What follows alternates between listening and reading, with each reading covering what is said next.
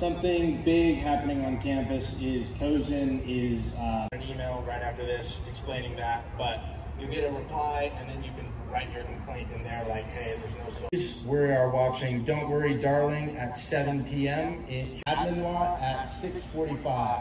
That one is $5 um, if you want to go. And if you need to buy tickets, go to our website. On that is coming. And then Wednesday, if you want fruit, vet, and veggie.